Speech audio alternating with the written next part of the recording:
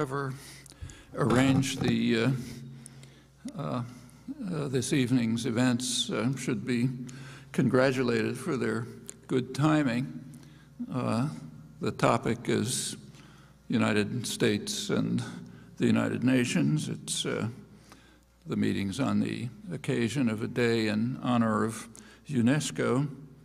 Uh, the United States has UNESCO is one of the proudest achievements of the United Nations. It's also been an object of considerable disdain by the U.S. government uh, since its founding back in the mid 1940s. Uh, back at then, the U.S. insisted on cutting its budget to the bare bones. And uh, just a couple of days ago, as you know, uh, the U.S. cut off its funding for UNESCO completely in punishment for uh, UNESCO's adhering to the will of the overwhelming majority of the world and admitting uh, Palestine as a member. Uh, that's not the first time. In 1984, uh, the, this is part of the General Reagan attack on the United Nations. In 1984, uh, the U.S. withdrew completely from UNESCO, so funding and participation uh, in punishment for its kind of third world orientation. I'll return to that briefly. And there's also a lot to say about the specific issue of uh, U.S., Israel, Palestine, and the UN. Again, I'll make a couple of comments about that later on. Uh, it's important to bear in mind that there's a sharp split in the United States uh, in, with regard to attitudes towards the United Nations. Uh, the general population has, shown by polls, has been uh, consistently quite supportive of the United Nations.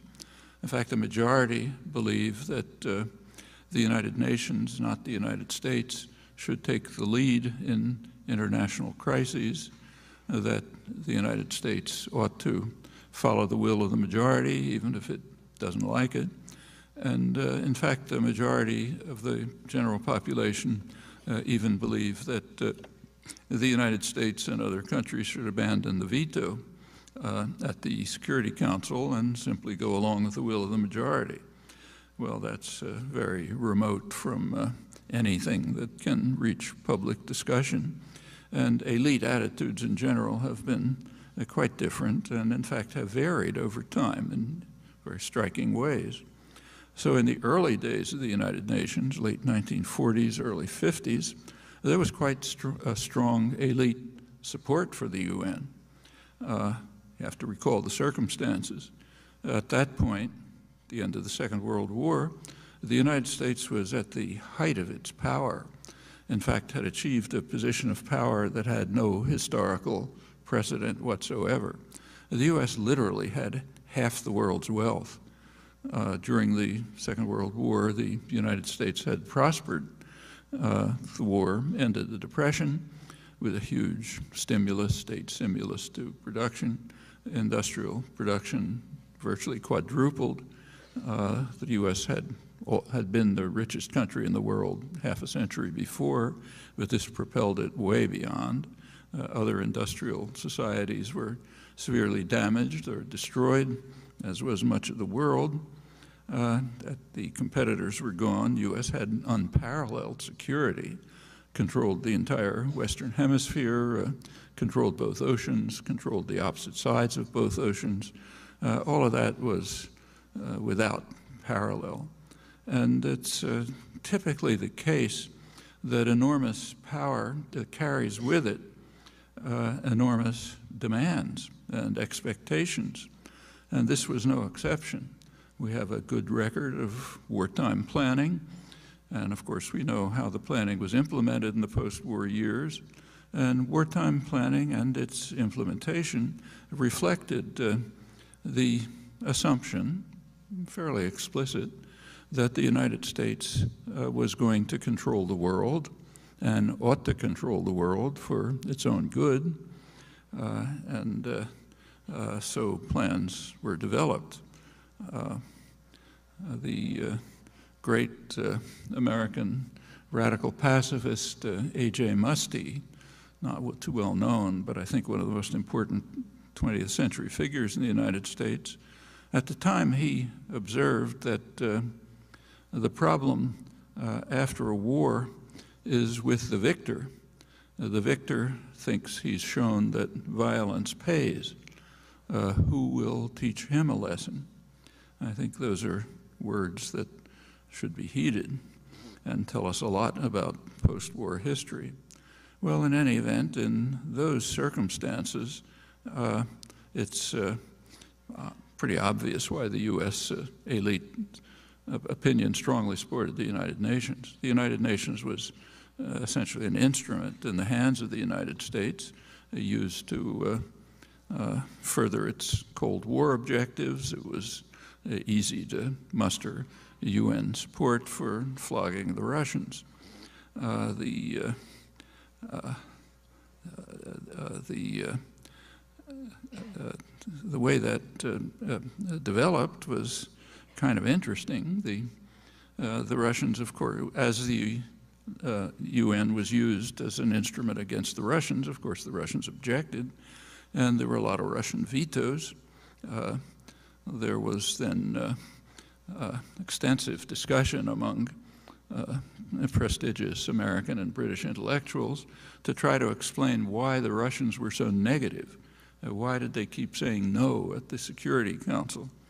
Uh, I was a graduate student at the time. One of the uh, popular theories put forth by famous anthropologists that the Russians are negative uh, because they raise their children in swaddling clothes and that makes them very negative. Uh, we used to call it diaperology, uh, but uh, uh that uh, began to change in uh, the 1950s and the 60s. But let me say a word first about American power. The, there's a, a very common theme today, discussed all over the place, is what's called American decline you take a look at the current issue of uh, the major establishment Journal of International Affairs, the Journal of Foreign Affairs of the Council on Foreign Relations. A big front page headline asks the question Is America over? Has American decline proceeded so far that we're done? There's a usual corollary to that, that somehow power is shifting to uh, China. That's uh, an illusion. China's economic growth is spectacular, but it's a poor country. It's uh, uh, no chance in the foreseeable future that it'll be a hegemonic power. Uh, but there's more to say about American decline. It's true that it's taking place. A lot of it, in fact, is self-inflicted in recent years. But an important observation is that it's nothing new. Again, the peak of American power was in around 1945 and the decline began right away. Uh, in 1949, uh, remember that the plans for U.S. global hegemony, which were quite explicit, were that the United States would control the Western Hemisphere, uh, control the entire Far East, and control the former British Empire, which includes, of course, the energy producing regions and as much of Europe as possible, the commercial industrial centers at least. But in 1949, uh, China became independent. There's an interesting uh, phrase that's used to describe that in the international affairs literature. That's called the loss of China. Uh, you should think about the phrase. Uh, I can't lose your watch because I don't own it. You can only lose something that you possess. And the phrase, which is never challenged, is based on the tacit assumption that, of course, we own China, we own the world. And if it moves towards independence, we've lost it. Uh, very revealing terminology, tells you a lot about the culture, goes on right until today. Well, from then on, 1949, there have been, there's been further decline and further efforts to pre uh, pre uh, prevent loss of uh, other parts of the world that we're supposed to own. Uh, well, going back to uh, the United Nations, uh, in the early years, it was an instrument of U.S. power, lots of Russian vetoes. But by the early 1950s, that was beginning to change. Partly other countries were reconstructing from wartime damage, and the process of decolonization was beginning its agonizing course, which made the United Nations much more uh, representative of uh, uh, global views, the so-called third world, the global south, happens to be the vast majority of the world. Uh, New York Times uh, diplomatic correspondent Barbara Crossette writes that by the 1960s, Moscow and many newly independent nations were isolating and vilifying the United States. In fact, the situation was so bad that by 1966, uh, the United States began to veto Security Council resolutions. And prior to that, it was unnecessary because the UN was pretty much an instrument of U.S. power, but not from the mid 60s. Uh, since the mid 60s, the United States is far in the lead in vetoing Security Council resolutions. Britain is second, uh, France is a distant third, and the other two countries aren't within shouting distance. Well, that's not exactly the way it's described. If you look at uh, current press coverage, it tells you that, uh, quote the Washington Post, uh, the image that's engraved on world consciousness is of grim-faced Russian ambassadors casting vetoes, which was true 60 years ago, uh, but it hasn't been true for 50, 40, 40 years. It's been the opposite. Grim-faced U.S. ambassadors and British ambassadors, secondly. But that's not part of the world's consciousness, given the way the world is presented to us. Well, these uh, aberrant uh, attitudes of the world have caused considerable concern in elite circles. So in 1984, uh, New York Times cultural correspondent uh, Richard Bernstein uh, had an article in the New York Times Magazine which was devoted to the uh, isolation of the United States at the United Nations. The title was The UN versus the US, uh, not incidentally the US versus the UN, which has a rather different connotation. Uh, point is that if, the, if there's a conflict between the US and the world, the, U, the world is out of step. Uh, you read other commentary, it uh, says the other countries of the world ought to join the team and get in the mainstream of diplomacy. The team is us, and the mainstream is what we do, even if everybody else is out of it, and they got to join in. Uh, at the time that uh, Bernstein was writing, mid 80s, uh, the United States was even vetoing resolutions that called on all states to observe international law and it began to refuse to pay its uh, legally obligated funding for the United Nations altogether. 1984, it quit UNESCO. Uh, the reasons for quoting, quitting UNESCO are kind of interesting. Uh, one reason, major reason, was that the organization was allegedly trying to initiate what was called a new information and communication order, which it was claimed would require licensing of journalists and other constraints on the free press. The charges, in fact, were total fabrication, but they were echoed, echoed constantly in the media, they still are, and efforts by UN officials and others to publish rebuttals were simply barred from the media.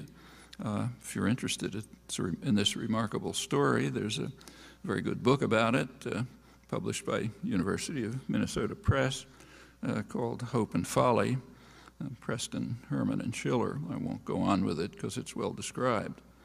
Well, that's, uh, uh, uh that's uh, UNESCO, mid 80s. the reasons why the United States had to veto resolutions calling for observance of international law also tell us a lot. They're instructive. Uh, what had happened at that time, the occasion for this was that the, the World Court, the International Court of Justice, had just condemned the United States for its terrorist war against Nicaragua. It had called on the United States to uh, terminate what it called the unlawful use of force. It's a technical term for terrorism, international terrorism, and to pay huge reparations to Nicaragua.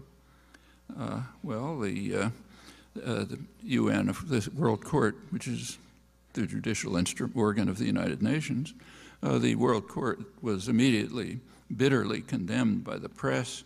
Uh, the uh, New York Times editors declared, wrote that the World Court is a hostile forum, so it doesn't matter what it decides. A couple of years earlier, the same editors had been praising the World Court because it had sided with the United States in a conflict with uh, Iran, but now it was condemning the U.S. for its international terrorist operations, so it's a hostile forum and therefore irrelevant. The bipartisan Congress immediately uh, passed an increase in uh, aid to the Contras, the terrorist force that was attacking Nicaragua. Uh, the, uh, and, and, actually, the, uh, the, there, there, there were at the time three countries that had rejected World Court decisions uh, Libya, Albania, and the United States. Uh, the United States is now in splendid isolation. I think it's the only country that's rejected a World Court decision, still does. Well, the background is also instructive, uh, not too well known, but should be.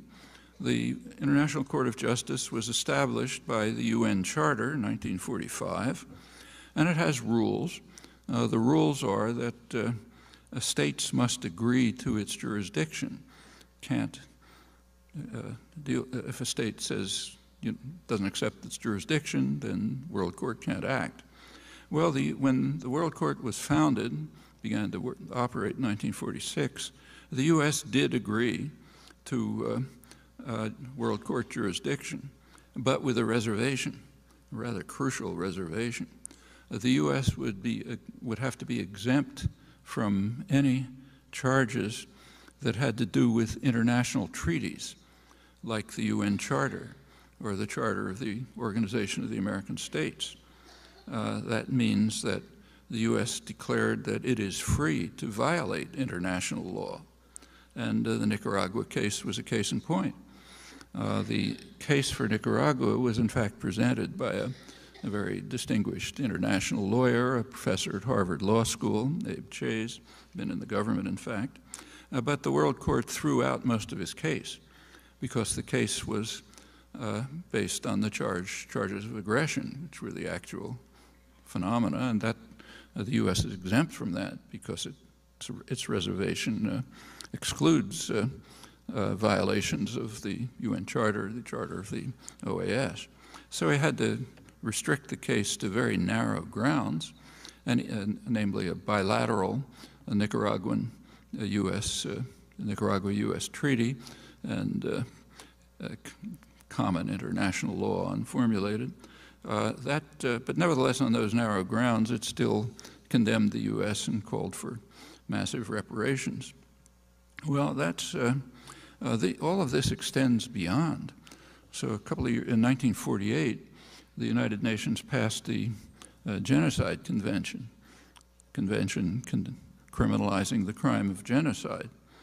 Uh, the U.S. took a long time to ratify it. It was 40 years, in fact. Uh, but after 40 years, the U.S. did ratify it, but with a reservation. Namely, the U.S. is exempt. The U.S. cannot be brought to the court for the charge of genocide. Actually, that happened in 19, in the year 2000 uh, Yugoslavia brought a case to the International Court of Justice uh, charging the NATO powers with various crimes in their bombing of Serbia. And one of the charges was genocide, whatever you think of the charge, uh, not, not much, but uh, that was one of the charges.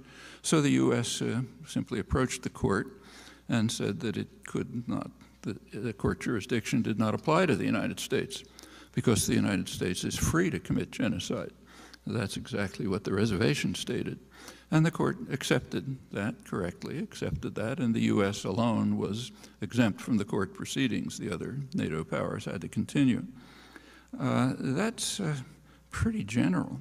The same is true of uh, the uh, International Convention on Torture. There's a lot of discussion these days about how the Bush administration carried out torture. Uh, Obama is refusing to prosecute, and so on. But there's uh, some things missing there. The United States never really signed the, never ratified the Convention on Torture.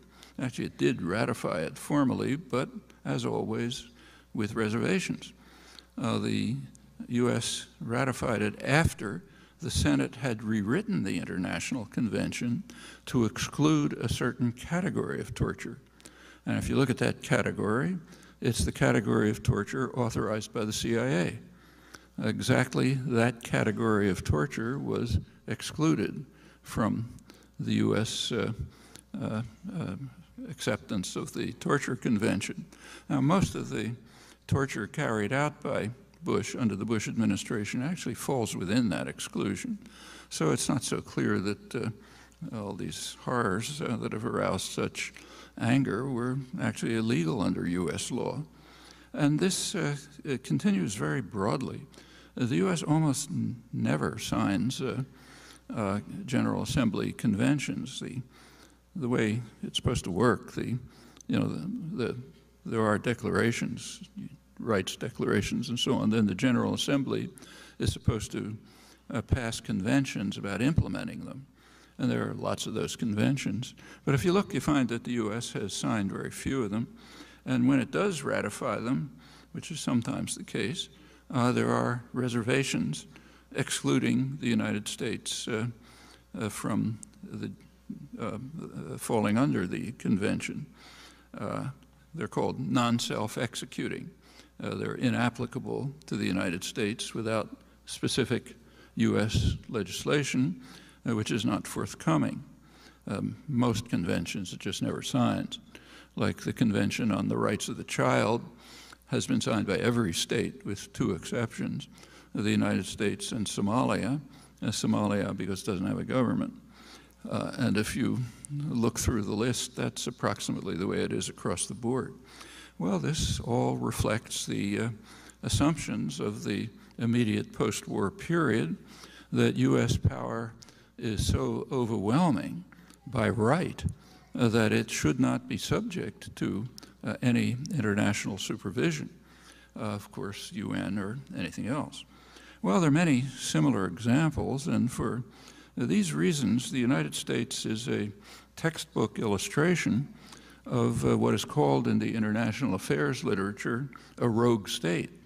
That is a state that rides roughshod over international treaties and other obligations. Actually, the most extreme form of violating international obligations is a Security Council veto. Uh, that just eliminates the, uh, uh the obligation. Uh, but in many other ways, too, including those I mentioned. And that hasn't passed without comment uh, in elite circles. So in the late 90s, uh, prestigious voices uh, observed, I'm quoting, that the U.S. was becoming the rogue superpower, considered by much of the world to be the singest, single greatest external threat to their societies, and that the prime rogue state today in the world is the United States. Now, these were incidentally not marginal voices. That's uh, Samuel Huntington, He's a highly respected uh, Harvard professor, and uh, Robert Jervis in his presidential address for the American Political Science Association. So not marginal voices, but they were drowned out in a quite remarkable chorus of self-adulation that I think has no counterpart in intellectual history. This is the 1990s. At that time, Clinton's foreign policy was described by prominent intellectuals as entering a noble phase with a saintly glow.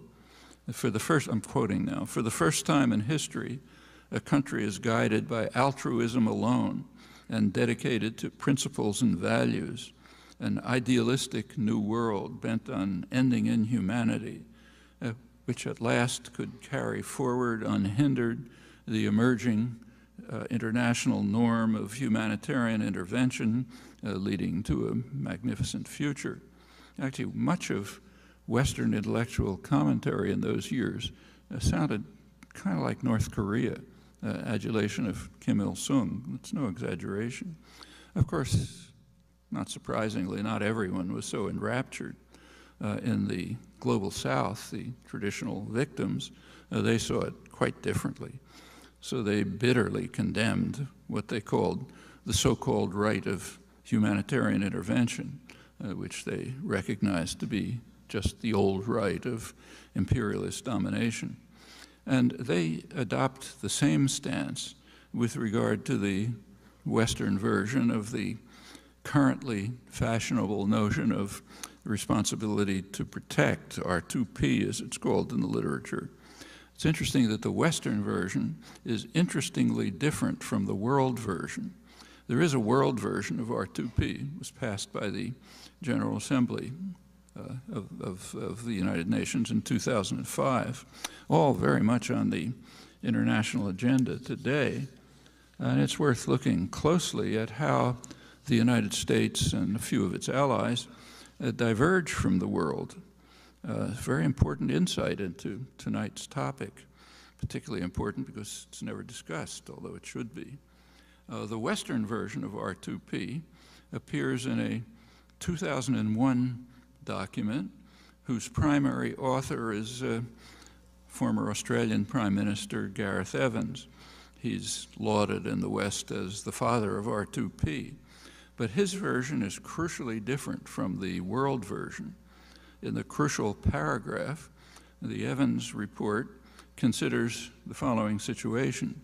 We consider a situation, I'm quoting now, in which the Security Council rejects a proposal for intervention or fails to deal with it in a reasonable time.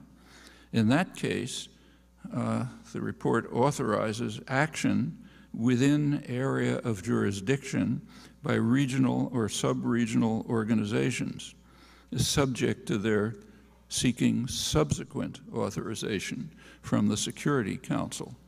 Now, if you look at what was going on then, you can see that that paragraph was explicitly tailored to apply retrospectively to the bombing of Serbia uh, two years before. That had been forcefully condemned by the global south, almost all the world. Uh, but this provision of R2P is designed to authorize it. And it, in fact, authorizes the powerful uh, to use force at will. And the reason is very clear. The powerful unilaterally determine when they can use force and determine what is their area of jurisdiction. Uh, the Organization of American States can't do that. The African Union can't do that. In fact, no regional organization can do it except for NATO. That's the one that can do that. So this is an authorization for use of force by NATO. And it does it. Uh, NATO unilaterally determined that its area of jurisdiction included the Balkans and that it could use force there uh, without uh, uh Security Council authorization. Uh, rather interestingly, and this is also never discussed, uh, the area of jurisdiction does not include NATO itself. Uh, there, shocking crimes were being committed against Kurds in southeastern Turkey through, right through the 90s, all off the agenda for a very simple reason. The decisive military and diplomatic support was being provided by the Clinton administration. In fact, that support peaked in 1997, the very year in which Clinton was praised for the noble phase of his foreign policy with a saintly glow. Uh, well, this all passes without comment. Uh, NATO later determined that its area of jurisdiction extended to Afghanistan, as you know, and well beyond. In 2007, NATO's mission was formally extended, quoting it, to guarding pipelines that transport oil and gas directed to the West, and more generally, to protecting sea routes used by tankers and other crucial structure of the energy system. That makes uh, NATO a global intervention force, of course, at the command of the United States, uh, extending worldwide in its area of jurisdiction and its right to use force under the Western version of R2P. Now, these expansive rights accorded by the Evans report are in practice restricted to NATO alone, That's radically violating the principles uh, adopted by the General Assembly. And they explicitly leave the door open for resort to R2P as a weapon of imperial intervention at will. Those are important topics. They should be uh, the topic of uh, extensive discussion, but if you look hard, you'll find very little commentary on them. Uh, the reason is, again, the tacit assumption uh, that we own the world, so anything we do has got to be legitimate. Uh, sometimes we lose part of the world that we owned, like China, uh, South America in the last decade, but you know that's something wrong with that. Got to do something about it. Well, this issue has just arisen in the case of Libya. Actually, there were two interventions in Libya, worth bearing in mind. One intervention was under a Security Council resolution, Resolution 1973, uh, which called for a no-fly zone and the use of all necessary means to protect civilians. Uh, that intervention lasted about five minutes. The three traditional imperial powers, uh, France, England, and the United States, instantly violated it and simply uh, decided to become the uh, Air Force of the uh, rebel forces. There's nothing in the resolution that justifies that. Actually, virtually the entire world opposed that. Uh, almost everyone called for efforts at negotiations and diplomacy to head off the fearful bloodshed and the destruction that in fact took place, uh, culminating in a humanitarian catastrophe uh, caused by mainly by NATO bombing in Bani Walid and Sirte.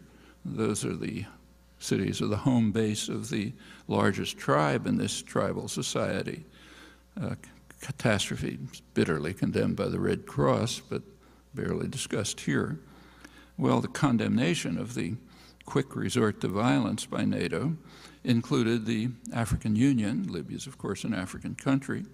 It included the BRICS, so-called BRICS countries, Brazil, Russia, India, China, South Africa, the main so-called developing countries, happened to be meeting in China right then and issued a condemnation and a call for uh, negotiations and diplomacy. It was also condemned uh, by the International Crisis Group, highly respected organization that monitors uh, actions throughout the third world. Was quite an important paper by its director for Africa, Hugh Roberts, London Review of Books. Uh, the triumvirate, the imperial triumvirate, uh, appealed to R2P uh, totally without justification, but it's worth knowing that they were virtually alone, the usual situation. Uh, well, uh, let's return to the current cutoff of funds to UNESCO right now uh, to punish it for admitting Palestine. Uh, here, too, there's a history which involves uh, the United Nations, and they're worth thinking about. There are plenty of uh, hard problems in the world where it's difficult even to conjure up a possible solution, like uh, Kashmir or uh, Eastern Congo and others. Uh, but uh, Israel-Palestine is not one of them, contrary to what's said. There's a very straightforward settlement, and there's an overwhelming international consensus on it, and we know what it is. Uh, a, there should be a two-state settlement on the international border, the pre-June 1967 border, uh, with uh, maybe uh, minor and mutual modifications. It was a ceasefire line. That, in fact, was the official position of the United States back in the late 60s when it was still part of the world on these issues. Uh, and that's uh, almost just about every relevant uh, party agrees to this, with an exception, crucial exception. Actually, this proposal reached the Security Council of the United Nations in 1976. It was brought by the three Arab confrontation states, as they're called, Syria, Egypt, Jordan, and brought a resolution to the Security Council uh, calling for what I just said, for uh, uh a settlement on the international border, which, uh, and then came uh, they ad adopted the wording of UN 242, which everyone agrees is the basic diplomatic document.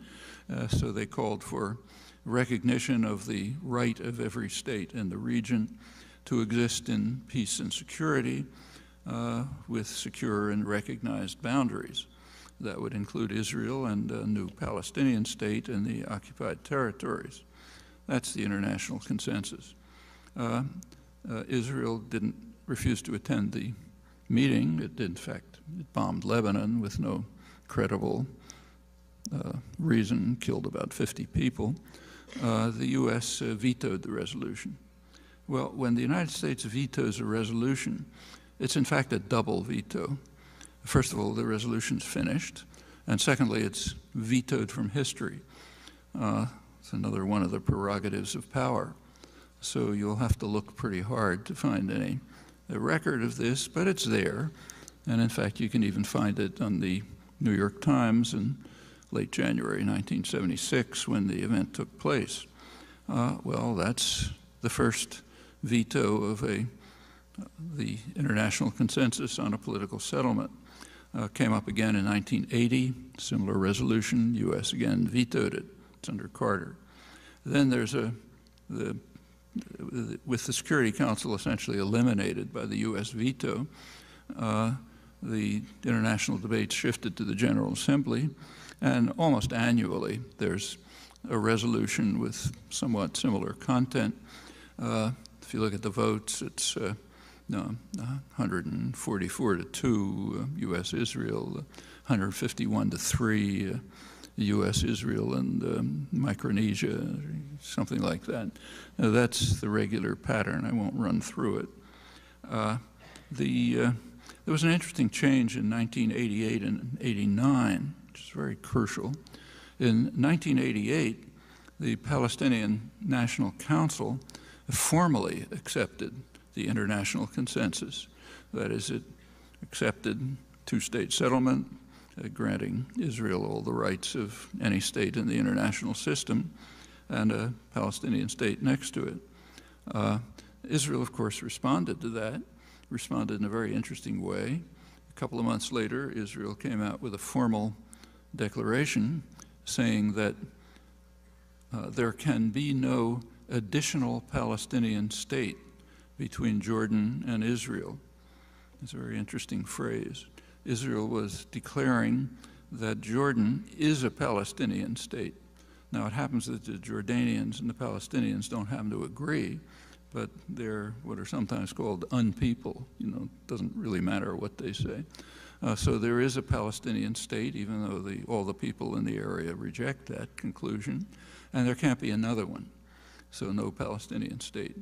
Uh, went on to say that any uh, uh, the any anything dealing with the occupied territories, West Bank and Gaza, would have to be in accordance with the guidelines of the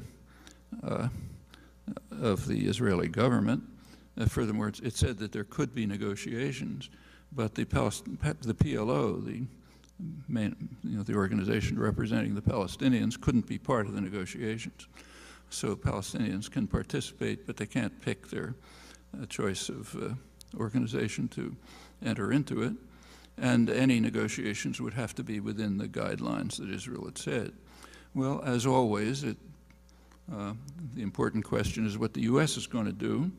And the U.S., in fact, reacted very quickly and December 1989, the U.S. State Department came out with, a, with its uh, plan. It's called the Baker Plan, James Baker, Secretary of State under Bush number one. And the Baker Plan simply reiterated the Israeli uh, declaration, almost verbatim. So no additional Palestinian state, uh, no Palestinians can't pick their own representatives. Uh, everything will have to be settled accord with the guidelines of the State of Israel.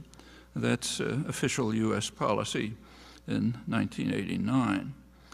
Uh, well, uh, and that's kind of out of history, too. It doesn't fit well with the proper imagery. Uh, shortly after that came the Oslo agreements. Uh, the Os I won't go into the details, but they're interesting. The crucial part of the Oslo agreements was that they undercut the Palestinian negotiators. There were negotiations going on uh, with uh, under U.S. aegis, of course, and there were Palestinian negotiators from inside the territories. Now, the Palestinian negotiations were led by uh, Haider Abdel Shafi. He's a, a, highly respected, maybe the most respected figure in the territories, a dedicated nationalist, uh, not incorruptible, honest. And he was, uh, he had conditions for the negotiations which Israel and the United States were not accepting. The primary condition was that, uh, uh, that the settlement operations had to cease. It's recognized that they're illegal, and he said we can't go on if the Israeli settlement continues in the occupied territories. He also called for a Palestinian state um, at the end of the negotiations. Well, that was undercut by the Oslo agreements. Uh, if you take a look at the Oslo agreements, these led, some of you will remember, to a meeting on the White House lawn. Uh, Bill Clinton standing with Yitzhak Rabin and Yasser Arafat. Uh, press called it a day of awe, you know, amazing event. And they came out with what they called a Declaration of Principles.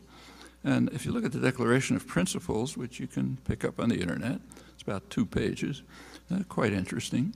The Declaration of Principles, first of all, says nothing about ending settlements so they can continue. And it says that the end result of the negotiations will be uh, what is stipulated in UN 242. Now, UN 242 says nothing about Palestinian rights, nothing. Palestinians are mentioned only as refugees. So that's the end result of the negotiations no Palestinian national rights. That's the day of awe. Uh, there were people who there was a lot of euphoria, not everyone. My friend Edward Said, late Edward Said, condemned it. I wrote against it. But most importantly, uh, Haider Abdel Shafi uh, uh, rejected it right away. He refused to appear at the White House ceremony because he was principled. Uh, he was not going to give up on everything. Uh, and in fact, the DOP, the Declaration of Principles, was a, a complete sellout. Well, won't go on, but the settlements continued uh, right through the following years, continued to grow. You take a look at the chart, they grew kind of linearly right through the 90s, continued more later. Uh, it's commonly claimed that Yitzhak Rabin, who was assassinated in 1995, uh, was a man of peace who was going to establish a Palestinian state. That's based on complete refusal to pay attention to the record. Uh, right before he was assassinated, Rabin addressed the Israeli Knesset, the parliament, and he repeated his long-standing position. I'll just read it to you. We're striving for a permanent solution to the unending bloody conflict between us and the Palestinians and the Arab states. We view the permanent solution in the framework of State of Israel which will include most of the area of the land of Israel, as it was under the rule of the British Mandate, Jordan to the sea, and alongside it, a Palestinian entity which will be a home to most of the Palestinians living in the Gaza Strip and the West Bank. We would like this to be an entity which is less than a state and which will independently run the lives of the Palestinians under its authority.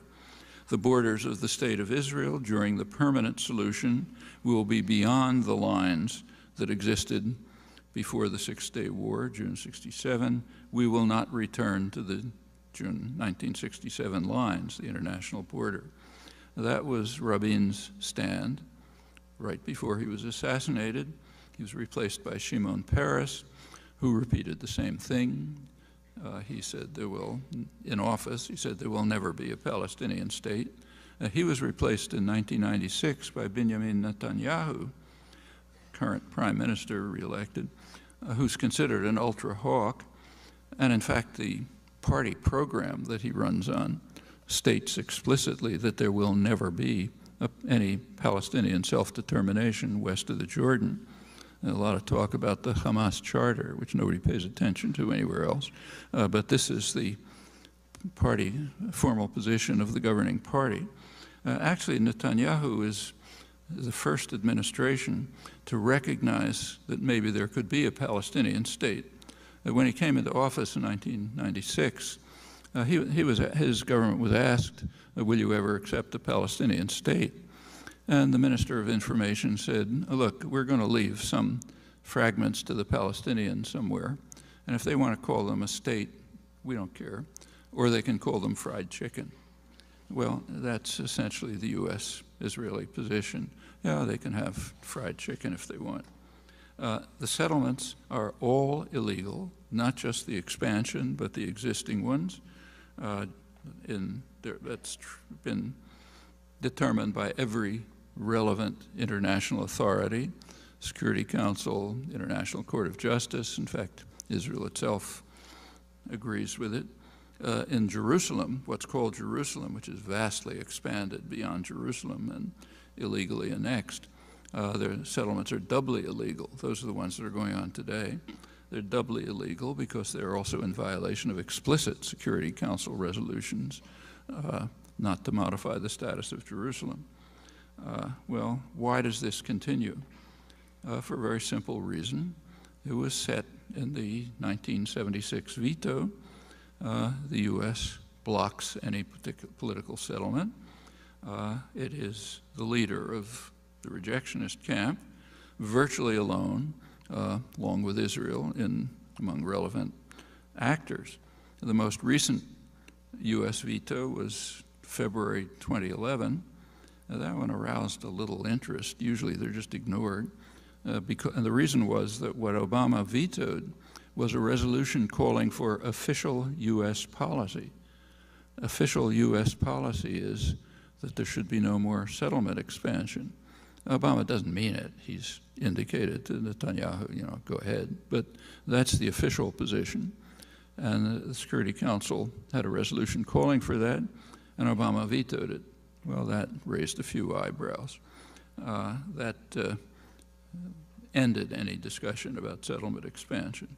There's another veto threatened uh, any day now if the Security Council accepts the Palestinian bid, a bid for, uh, uh, for membership. Uh, uh, if it happens, uh, the U.S. isolation will be carried even further to really historic depths. I mean, Obama hasn't had many achievements in his presidency, but he's had one, which shouldn't be overlooked. He succeeded in becoming even more unpopular in the Arab world than George Bush was. That's a, quite an achievement. Bush was down to, I think, about 9% support. Obama's reached 5% in Egypt. Well, the United Nations has several pillars. Uh, the main one is the United Nations Charter its core principle is rejection of the threat or use of force in international affairs. It's, a, it's a Article 2.4. Uh, there are exceptions. The exceptions are if forces authorized by the Security Council or Article 51 if it's in self-defense against armed attack uh, until the Security Council can act. Uh, there's almost no example of that. The U.S. routinely rejects uh, this principle uh, so frequently and so brazenly that it's superfluous to give examples. In fact, right now it's violating it. The threats against Iran uh, are in violation of Article 2.4, which says, condemns the threat or use of force. Now, the way it's framed in the case of Iran is all options are open which means we'll nuke you if we feel like it. Uh, that alone, even those words, are in violation of the Charter. And uh, the uh, much more significantly, of course, is the resort to force, which happens all the time. Uh, another one of the pillars of the United Nations is the International Court of Justice. As I've mentioned, the U.S. Uh, exempted itself right away from ICJ jurisdiction on matters of real significance. And under Reagan, it extended. Uh, Reagan uh, uh, denied any authorization to the ICJ on any issue. Well, the last major pillar of the United Nations is the Universal Declaration of Human Rights, uh, December 10th, 1948. It's called Human Rights Day. Uh, it'll come in a few weeks, and you will hear rousing statements about our fervent dedication to the Universal Declaration and condemnations of enemies who routinely violate it. So let me end by taking a look at that. Uh, the Universal Declaration of uh, UD has three parts, which are of equal significance, quite explicit. Uh, the three parts are civil and political rights, uh, socioeconomic rights, and cultural rights. The U.S. formally accepts the civil and political rights, but only formally. It often violates them in quite interesting ways. Go into it if you like. The cultural rights, uh, the U.S. Uh, dismisses without comment. They're not even discussed, so they're out. The socioeconomic rights are the most interesting case. Uh, there, the United States explicitly rejects them. Mention just a few illustrations. Uh, in April 2005, the United States cast the sole vote against the UN resolutions on the right to food and the right to the highest attainable standard of physical and mental health.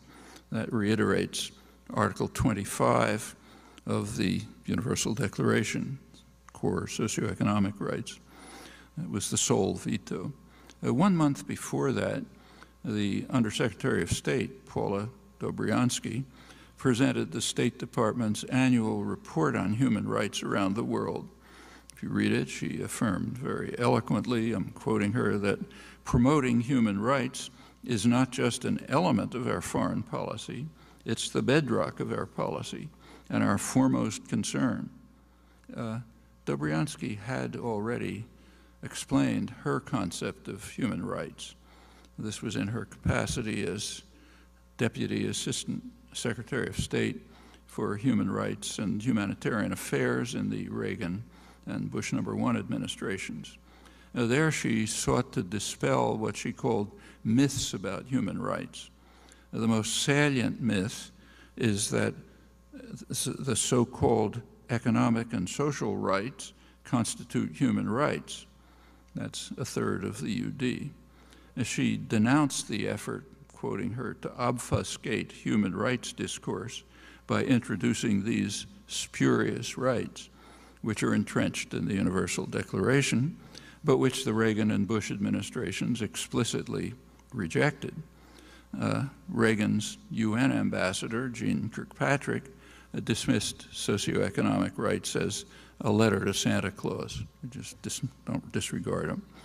Uh, under Bush 1, UN Ambassador Morris Abram cast the sole veto of the UN right to development, which closely paraphrased Article 25.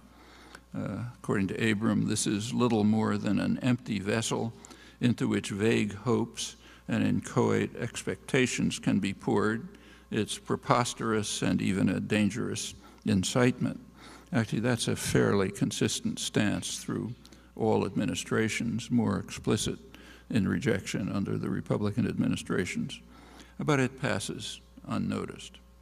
In fact, rejection of the Universal Declaration is so deeply ingrained in consciousness that the New York Times editors can actually publish an editorial on Human Rights Day which condemns the Asian countries that because they reject the Universal Declaration and they call instead, I'm quoting, for addressing the more basic needs for people for food and shelter, medical care, and schooling, as called for by the Universal Declaration. So according to the Times editors, by calling for core elements of the UD, uh, the Asian countries are rejecting the UD.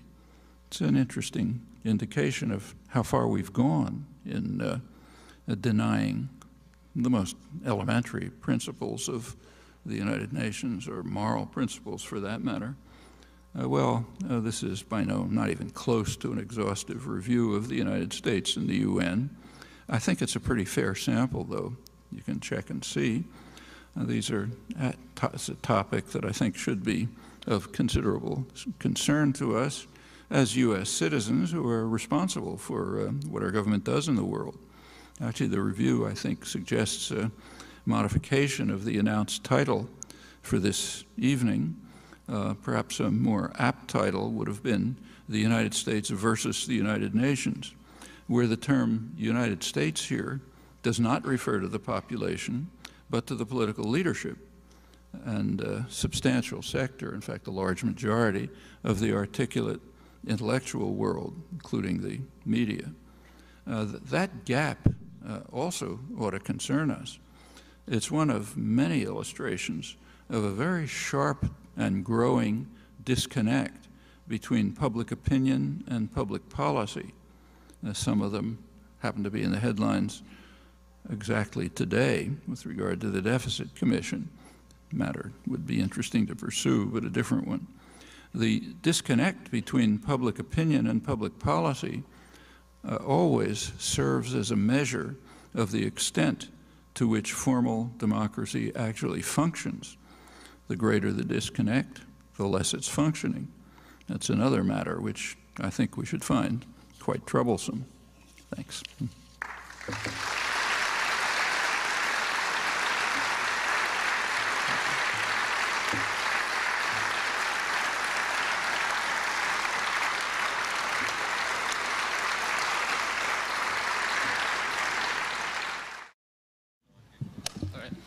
I'd be uh, curious to know if you think the Occupy Wall Street movement signals that we're on the verge or perhaps already in a legitimation crisis in the Habermasian sense of the word.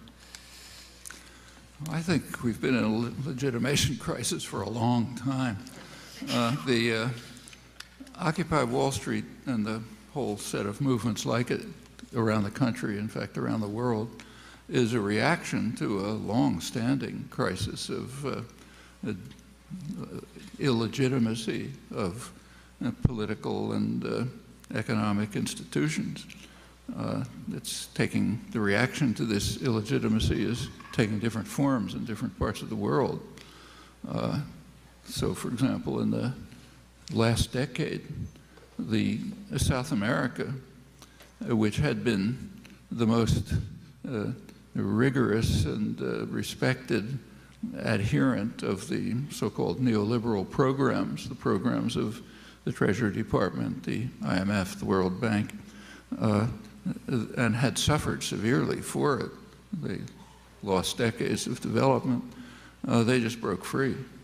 Uh, for example, Argentina refused to pay its debt. Uh, other countries broke free in other ways. Uh, they've thrown out all the U.S. military bases. In fact, the U.S. has lost South America, much as it lost China in 1949. Uh, that's a significant reaction against uh, the whole array of social and political programs and economic programs that are roughly called neoliberal. I mean, they vary in the way they apply in different places. Uh, take, say, Egypt. Uh, that's, been, that's what's been happening the last year in, in Middle East and North Africa, what's called MENA, Middle East North Africa region. So for example, in Egypt, these same programs had been instituted in the 1980s. That's when most of them were instituted around the world and uh, had the usual impact. Uh, the World Bank and the IMF were very praised Egypt uh, very highly. In fact, shortly before everything collapsed, uh, they were producing reports describing Egypt as, you know, the kind of poster child for neoliberalism. Everything was working beautifully, wonderful reforms. Uh, what was happening was the usual. It enriched a small sector of the population and impoverished and undermined everybody else. And now there's reaction. That's not the only reason for the reaction. It's also a reaction against dictatorships, but it's a large part of it and uh, the same throughout much of the region. And other things are happening in Europe, which are sort of the same, the indignados in Spain, uh, in uh, Greece. The Occupy movements here are the first manifestation, organized manifestation of uh, significant protest against similar policies which have been applied in the United States. Now, when policies apply in the richest country of the world, it's different than when they apply in Egypt or, uh, you know, uh, Argentina or somewhere else. Uh, but it's similar. Uh, the policies have been designed to achieve exactly what they've achieved, to enrich a tiny sector of the population. You look at the United States over the last 30 years, there's a big change in the economy in the United States in the past 30 years, just as there was uh, when the neoliberal programs hit other parts of the world. So in the 1950s and the 60s were the greatest growth period in economic history. And the growth was egalitarian. So lowest quintile did about as good as the upper quintile. Uh, there were also steps forward towards uh, uh, kind of vaguely social democratic welfare state measures, uh, giving rights to larger parts of the population. Uh, by the early 70s, that was beginning to change. Uh, with Reagan, changed dramatically. in the last generation, very radical change. For most of the population, it's been stagnation, sometimes decline. Uh, for a very small percentage, mostly coming from the financial institutions, it's been extraordinary wealth. Uh, everyone knows the United States is unequal, in fact, unparalleled in inequality. But what's less known is that inequality is largely driven by about one tenth of 1% of the population. Uh, hedge fund managers and CEOs of financial corporations and so on.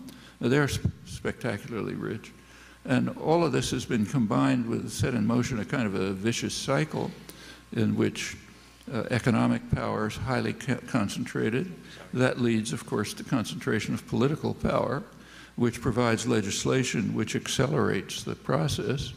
And we've, uh, the, the whole system is so illegitimate and understood to be illegitimate that by now uh, uh, approval of Congress is in single digits. This goes back quite a few years, but it's going way down. Uh, same with the executive, same with virtually every other institution. Well, Occupy Wall Street is a reaction to this, uh, different, taking different forms than the reaction to similar policies in different parts of the world. But yeah, it's a reaction. Where will it go? You never know where it'll go. Depends on how much commitment and dedication there is, how far it can it's a very atomized society. So the question is, can it help organize and mobilize people to struggle for their own rights the way it's been done in other countries? We'll have to see. Thank you.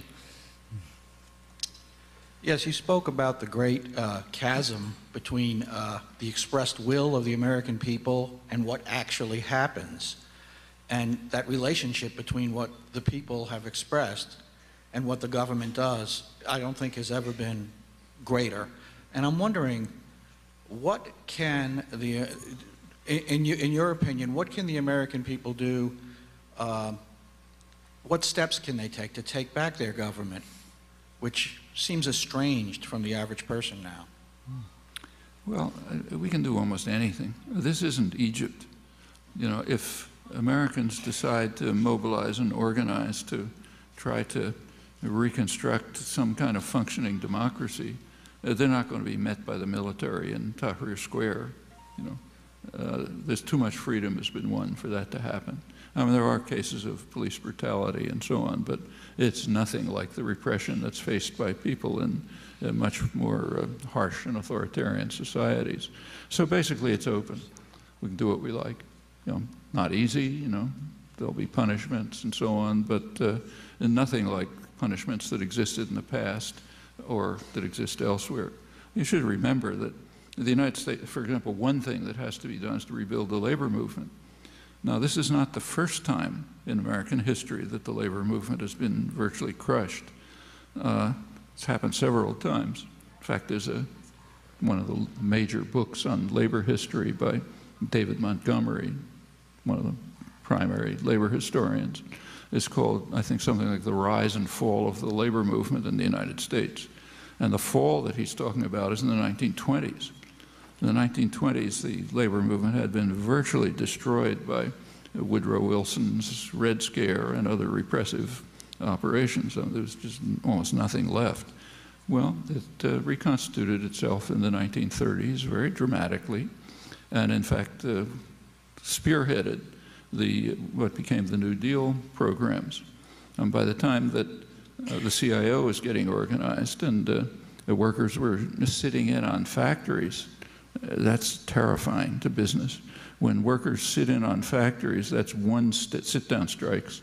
That's one step before taking them over and saying goodbye. We're, we don't need you. You know, we're going to run them ourselves. Uh, that's uh, as soon as that started to happen, then you started getting significant New Deal legislation, and plenty of other things were happening like it. Uh, repression then was still pretty brutal. I mean, American labor history is extremely violent, and much more so than other countries, other industrial countries. Uh, and as late as the late 30s, workers were still getting murdered for striking. Okay, that's not happening anymore. Uh, there's been improvements, and uh, uh, plenty of things can be done. I mean, right now it's very critical to uh, the, the, uh, the labor movement has been, in the private sector, the labor movement has been very much weakened, mostly by illegal actions of the government, primarily under Reagan, but then it continued.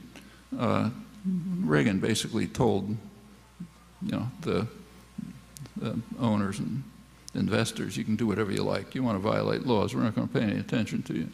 Uh, so the number of uh, illegal firings for organizing attempts escalated sharply under Reagan, went up more under Clinton, under Bush, so even more.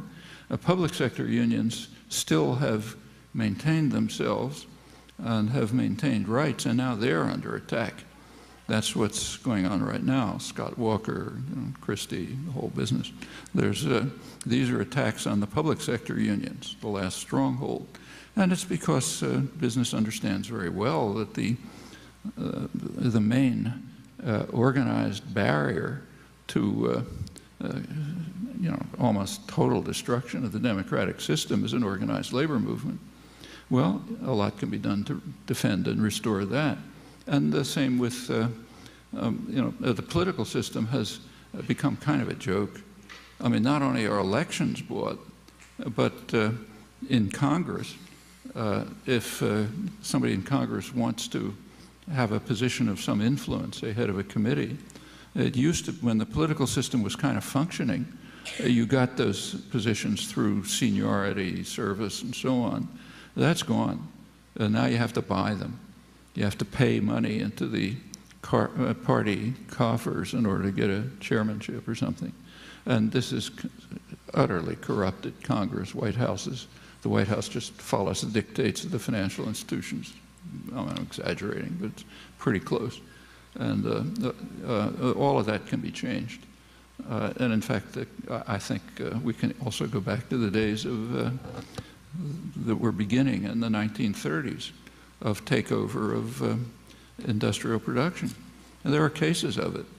there are cases where which have been come pretty close to uh, workers taking over, workers and communities uh, taking over industry and producing things that can be needed.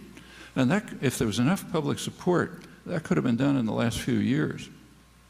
So, for example, when Obama took over the auto industry, it was basically nationalized. Uh, and there were a couple of paths that could have been followed. Uh, one path was the one that was followed uh, reconstitute it, uh, give it back to essentially the same, you know, banks, management, and so on, a couple of different names. That was one way. Public paid for that. An alternative was to hand it over to communities and the workforce and have them uh, turn to producing things that the country very badly needs, like, say, high-speed rail. Uh, skilled workers in uh, the Rust Belt uh, have the capacity, uh, with a little help, to do that. And the country badly needs it, and they need the jobs. And that uh, rebuilds a popular movement, which can be again on the forefront of change. That's, these are possibilities. And across the board, there's a, any number of things we can do. So I, I, don't think there's any shortage of opportunities. There's a shortage of uh, dedication to making use of those opportunities. Thank you. Hi. Um, yeah, he took my question, but uh, do you support Ron Paul? And uh, what corporations do you think lead ethical practices that, if any? I mean, Ron Paul's a nice guy.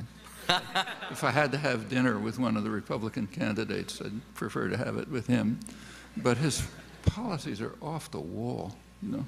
I mean, sometimes I agree with him, you know, like I think we ought to end the war in Afghanistan. But if you look at the other policies, I mean, it's kind of shocking. So, for, and, and the principles that lie behind them, you know, I, I don't know what to say about them. So let, uh, you probably saw or maybe read in the Republican debates at one point, and this kind of brought out who he is. He was asked, uh, he's against federal involvement in health, in anything, you know. Right. He was asked uh, something like, uh, well, what about, what if some guy's in a coma and uh, uh, he's going to die and he never took out insurance? What should happen? Well, his first answer was something like, uh, it's a tribute to our liberty. Okay, so if he dies, that's a tribute to how free we are. Right. He kind of backed off from that. Uh, Actually, it was a huge applause when he said that. But after later reactions from elsewhere, he backed off. He said, well, uh, the church will take care of him, or charities will take care of him, or something or other, so it's not a problem. All right. I mean, this is just savagery, and it goes across the board. In fact, this holds for the whole so-called libertarian ideology. I mean, you know, it may sound nice on the surface, but if you think it through, it's just a call for corporate tyranny. Yeah. Takes away any barrier to uh, corporate tyranny. It's uh, a step towards the worst. But, Right. but, we, but it's all academic, because the business world would never permit it to happen, since it would destroy the economy. I mean, they can't live without a powerful nanny state. They know it. You know. Yeah, I like how you said uh, if you want to see who the next president is going to be, just look at how much money is backing them. Yeah. Okay. Well, that's been true for a long time. Sorry, I got two. It's, it's basically true, I mean, and more and more true over the years, that elections are essentially bought. They're sort of charades. Uh, what's more, you know, I mean, uh, intellectuals pretend not to believe, not to understand it, but there are people who understand it very well. For example, I think most of the population understands it. Another group that understands it very well is the advertising industry, the guys who run this, the campaigns. So as maybe you know, in 2008, uh, after Obama's victory, uh, the uh, American advertising industry had its annual meeting. Uh, every year they give an award for the best marketing campaign of the year. They gave it to Obama. He beat out Apple Computer. If you read the business press, they understood that this is just a marketing campaign, like you know selling toothpaste. Uh, and since they were running it, they understand it. Uh, they, in fact, if you read the business press, it's kind of interesting. Uh, there, there was just, you know, a lot of excitement about how this is going to change the atmosphere in corporate boardrooms. We're going to behave a little bit differently. Now we have a different model as to how to delude people and uh, Right. gain what we want. I mean, they're not confused. There's no reason for us to be. Okay, Thank you. Um, just kind of returning to foreign policy here, you talked about in your uh, your address earlier about briefly touched on the re- re- current tensions On- between Iran and Israel. Pardon? The tensions between Iran and Israel? Yes, and I'm, I was just wondering like what your current assessment of them of that situation was, and if you could speculate on uh, what you think future developments might be. Hmm. Well, you know, Iran uh, uh, is described in, in general political discourse and in the international affairs literature as the greatest threat to world peace. Here it is, not the rest of the world, not, not uh, in the global south. So, for example, in, uh, say, Egypt, in the Arab world, where they don't like Iran at all, uh, they re- about maybe 10% regard Iran as a threat. Uh, overwhelmingly, they regard the United States and Israel as the major threats. Uh, but in uh, the United States and Israel, um, a couple of U.S. allies, Iran is regarded as the greatest threat to world peace. Well, you know, Iran is a threat to its own population. I mean, it's a rotten government. It's uh, like a lot of others. And it definitely is a threat to its own population. But a question you might ask yourself is what's the threat to world peace? Okay, everyone says that it's the major threat to world peace. So, okay, what's the threat? Uh, well, if you look closely, you'll notice there's very little discussion of that. It's just, it's a threat. We have to accept that it's a threat. Actually, there's an authoritative answer to that. You want to find the actual answer? Uh, take a look at the presentations to Congress by the Pentagon and U.S. intelligence. Uh, every year, they give a presentation to Congress on global security. And they run through the countries of the world, and of course, they include Iran. So take a look. You know, it's all up on the internet. Uh, what they say is uh, Iran is not a military threat. Uh, the Iranian military budget is very low, even by the standards of the region. I mean, minuscule as compared to us or Israel. Uh, but even by the standards of the region, it's low. Uh, furthermore, their, their strategic doctrine is defensive. It's for deterrence. Their military is deployed, their military is developed in order to try to deter an invasion long enough for diplomacy to set in.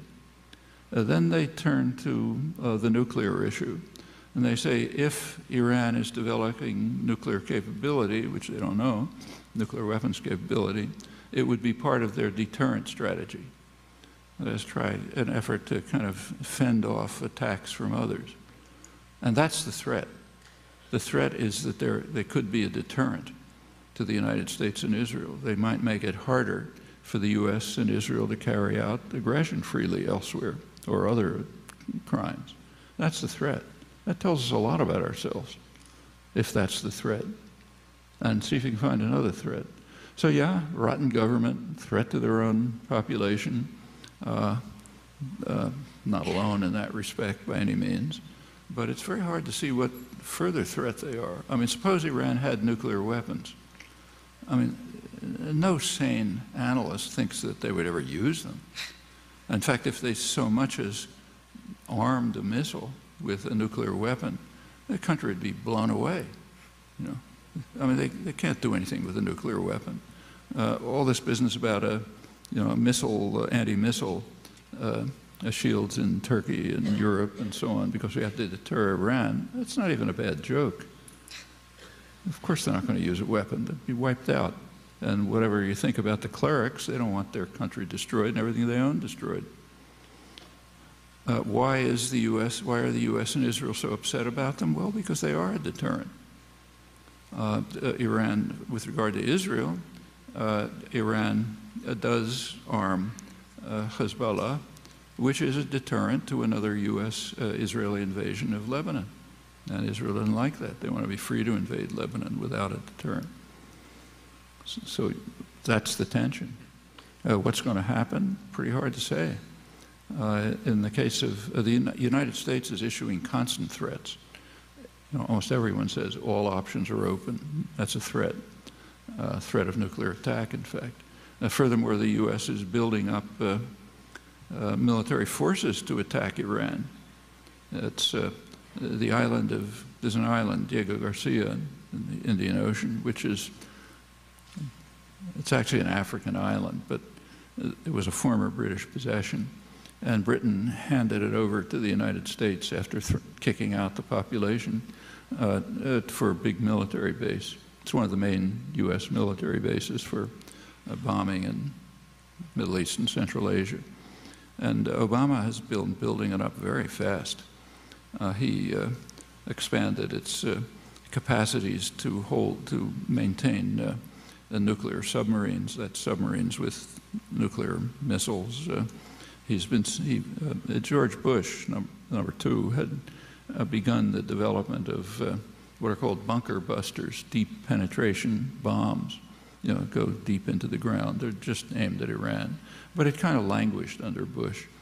As soon as Obama came in, he immediately radically accelerated the production of these things. They went way beyond what had been planned and they're now being dispatched to uh, Diego Garcia and also to Israel. Okay, that's a very definite threat, serious threat against Iran. They're not designed for anyone else. And in other ways, uh, yeah, they're building up the forces for a possible attack. I don't frankly think they'll do it.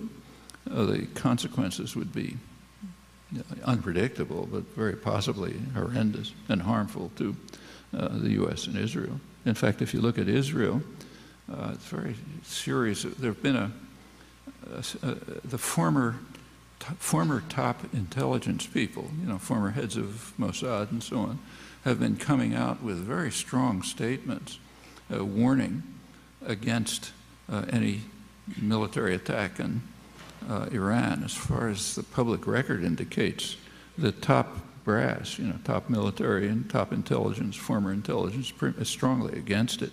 But that doesn't mean it won't happen.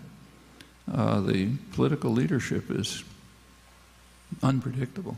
Can't tell what they'll do. In fact, these guys wouldn't be coming out with their statements if they didn't think that there was a danger. These are people who ra- very rarely talk in public. And when they come out with these warnings, that means they have some inkling that something's going on. So who knows? Well, thank you. Um, with regards to the uh, military intervention in Libya, um, do you think it was uh, appropriate? You said it was inappropriate for the United States to act because it violated international law. But do you actually think Gaddafi would have uh, gone through diplomatic means to have a peace treaty with the rebels who, before the inter, before NATO and Sweden intervened, that didn't have any bargaining chips? There's only one way to find out, and that was be to try. That's why most of the world, uh, in fact, almost every one relevant, was calling for efforts to try.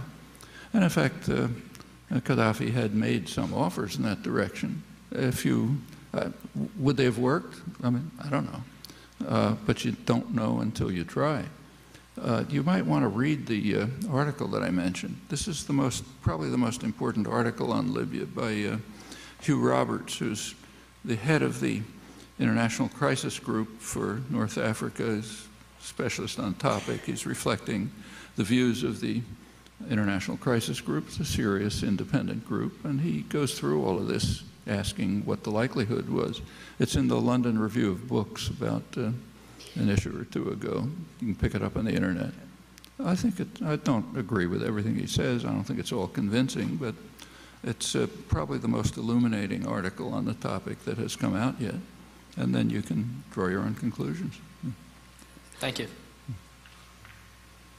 Good evening. Um, since 9/11, there ha- have you noticed a massive militarization of our police forces? A- In uh, militarization of our police forces in the United States, and is it our right with the Occupy movement to start pushing the boundaries further on what free speech is and isn't? Since uh, 9/11, have you noticed uh, a massive militarization of the police force? So have there been militarization of the police in the United States since 9/11? Yes, and is it our right Well, with the yeah. Occupy movement to I mean, push those been that, boundaries further? Also a massive increase in surveillance. Uh, uh, you know, airport security, um, checking up on people. Um, some of it's kind of comical in many ways. I mean, I happened to be in Australia a couple of weeks ago, and one of the guys who was, I have a friend there who's a former Australian intelligence officer, a member of the Special Forces, and he pointed out to me that, you know, one of the most lethal instruments you can have on you is a fountain pen. He said, if you, if you know what you're doing, you can kill somebody with a fountain pen in no time. Well, they don't take your fountain pens away. You know, they take your toothpaste away.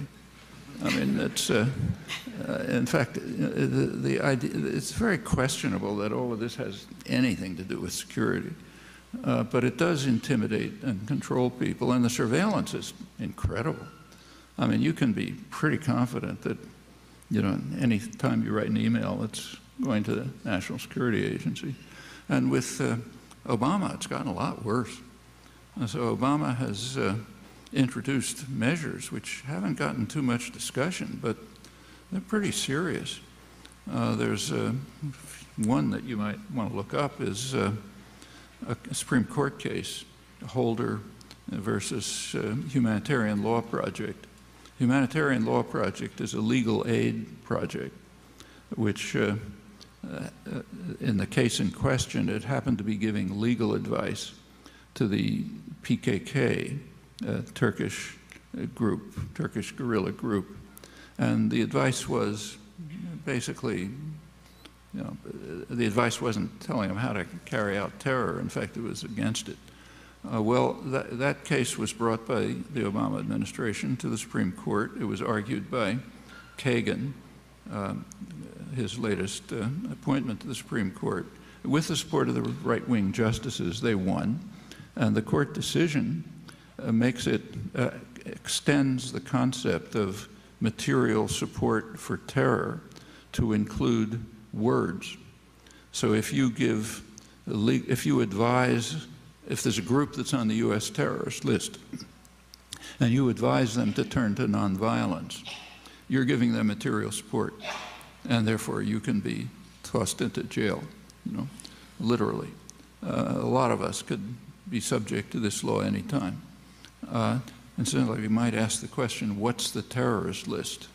I mean, it's taken for granted without comment that this list is legitimate. Is it? I mean, Nelson Mandela was on the terrorist list until two years ago. Uh, is that legitimate? Uh, the African National Congress under Reagan and Thatcher was uh, one of the more notorious terrorist organizations in the world. Um, if you want to see how arbitrary this is, take a look at the details. Uh, in 1982, uh, Reagan wanted to start sending arms to his friend Saddam Hussein. Uh, well, Saddam and other aid. Uh, Saddam was on the terrorist list, so they took him off the terrorist list. That made it possible for Donald Rumsfeld to go for his handshake and start sending aid to Saddam. This went right through his worst atrocities, all supported by the United States. Attack on the Kurds, everything else. Uh, they had a gap in the terrorist list. They had to fill it. So they put Cuba on the terrorist list. Uh, maybe because Cuba has been the target of more international terrorism than probably all other countries uh, combined from the United States. I mean, the thing is totally arbitrary. It has no supervision. It has no legitimacy. Uh, if you're put on it, you can't do anything about it. The, the, Attorney General doesn't need any evidence. I mean, the idea that this list should even exist is a serious uh, blemish on civil rights uh, on our civil rights record. And the idea that it should be used to extend the concept material support to things like giving legal aid or advice to turn to nonviolence, that's pretty, that's pretty outrageous. And it's been used. Uh, this decision was immediately used by the FBI to uh, attack uh, groups that were supporting uh, Palestinian rights in, in, the Midwest. Well, those things are dangerous.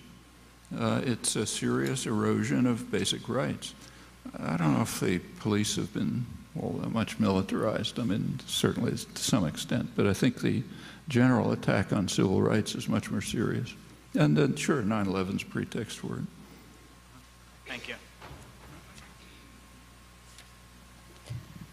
My question actually was very similar to his. Um, since the rejection of socioeconomic rights is so fundamental to U.S. policy, um, how far do you think the government, the federal government, state governments, municipal governments will go in the repression of the Wall Street occupiers? Um, I was reading that supposedly there was a conference call with 18 uh, heads of municipalities along with the FBI and Homeland Security. There seemed to be a coordinated crackdown on the mm-hmm. occupiers using seemingly increasing levels of brutality. Um, what's your assessment of the situation and how far do you think that will go? I think that depends on people like us. The more support they have, the less likely the government is to turn to repression. If support dwindles and they're kind of isolated, yeah, then they can go in and wipe them out. Uh, so, usual thing. Same with the civil rights movement. Same with any anti-war movement. You know, any popular movement. If it doesn't have substantial, broad support, then it's much easier to repress. If it does have it, it can resist repression.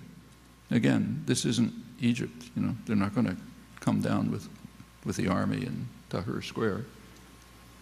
Well, they did use I, the, I, long, the long-range acoustic device, which... I, I think, we, we, we're, uh, if I can... Yeah, they're going to try, but um, the general, there's a general principle.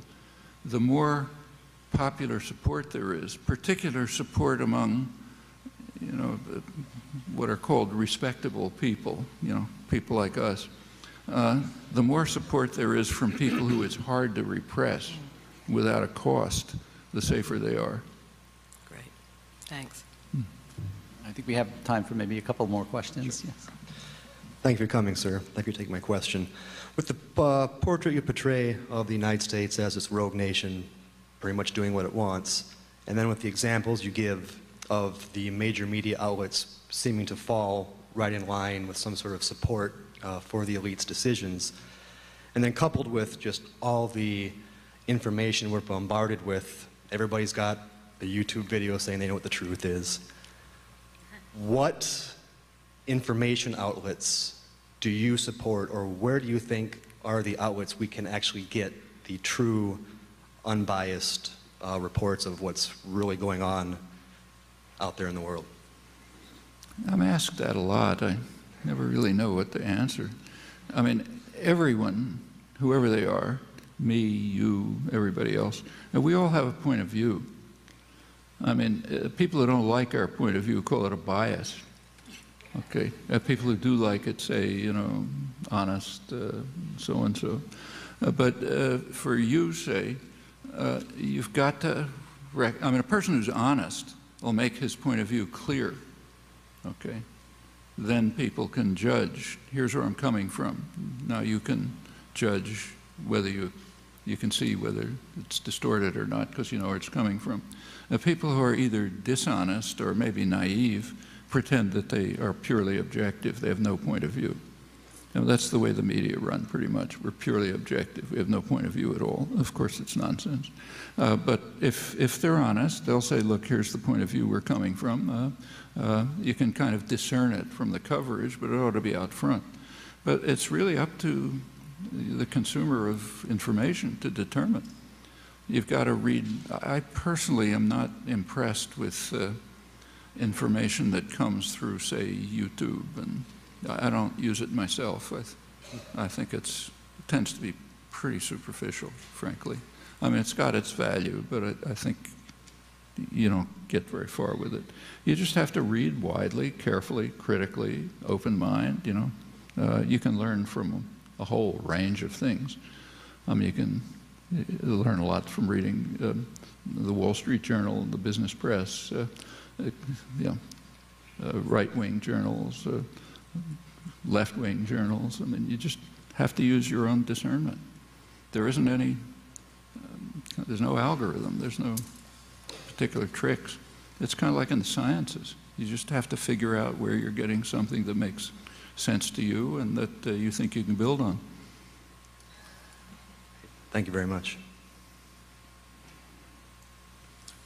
Um, you've mentioned um, U.S. relations with the Middle East. And, The what? Um, uh, you've talked about you talked about um, U.S. relations with the Middle East and uh, Asian Pacific countries, but you didn't really talk about anything about Africa.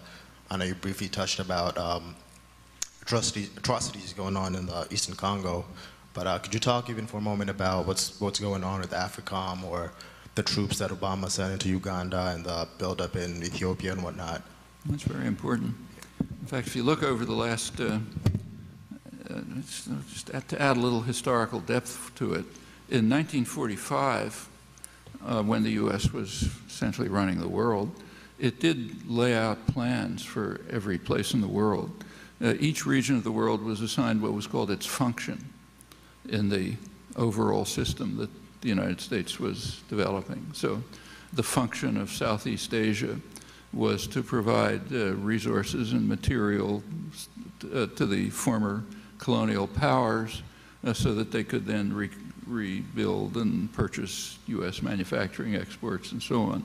And for the U.S. too. The U.S. wanted tin and rubber and so on. And so on throughout the world. This was done by George Kennan's uh, and his policy planning staff. Uh, when Kennan got to Africa, uh, he concluded that we're not really that much interested in Africa, so we'll give it to the Europeans to exploit, his word. We'll give it to the Europeans to exploit for their reconstruction. Well, you know, you look at the history of Europe and Africa, you might think of a different possible relationship, but that never came up. Well, over the years that changed. Within a couple of decades, the U.S. started being interested in Africa for its resources, strategic positions, and so on. Uh, by now, uh, a, lot of U.S. Uh, energy that comes from West Africa, supporting horrible dictatorships like Obiang and others, and all kind of atrocities like what goes on in Nigeria. But the, and, and, they are trying to set up military systems. So there's two AFRICOM, you know, the African military system, which system which extends over the world. They're trying to find bases in both East and West Africa for uh, AFRICOM. So on, far they haven't really found them. There's a good chance, in fact, it's worth keeping your eyes open, that uh, Libya will end up being one of the bases. In fact, that may have been part of the motivation for uh, entering the war in Libya. Uh, hasn't happened yet. Uh, sending the troops to Uganda is uh, it's worth keeping your eye on. I mean, the pretext was uh, to fight the Lord Resistance Army, but that's pretty hard to believe. I mean, whatever that army is, it's waned. Its power was years ago. They didn't send troops then. Uh, probably it's aimed at Sudan, South Sudan. Uh, South Sudan has, is, is, it's kind of unsettled, very much so, but has plenty of oil, and everybody's trying to get their fingers in it. And they may be aimed at that. It may be a preliminary to trying to set up an African base. So I think you, what you're saying is uh, very important to look at. Keep your eye on how this is developing and to try to prevent it from being a recolonization of Africa. Now, that's what a lot of Africans are concerned about, and with justice. Thank you. I think, we're going to have to. I mean, I might just make a comment about Eastern Congo. Eastern Congo is you know, the worst atrocities of the last couple of years. I mean, millions of people have been slaughtered. Uh, why isn't anything done about it? Well, you know, there's a couple of, I mean, there is an African Union group, but why aren't the Western powers doing anything? Well, I think there are a couple of reasons. For one thing, the major culprit in Eastern Congo is Rwanda, which is a U.S. client. Well, that's one reason to let it alone. The other reason is uh, your cell phone and everyone else's, uh, you know, uh, similar things. A lot of the minerals for them that come from Eastern Congo, and the multinational corporations are all over the place. They're ripping off uh, resources from there, and they use the militias to carve out territory for them. And they're making plenty of money out, out of it. And as long as that goes on, I don't think there's going to be much in the way of sensible uh, involvement to try to negotiate a settlement of these horrible conflicts. Okay. I'm, I'm very sorry. I'm, I'm sure um, I and, and, many people here would like to uh, stay for another two hours and okay. continue to ask questions. Um, thank you very much uh, for the questions that you answered. And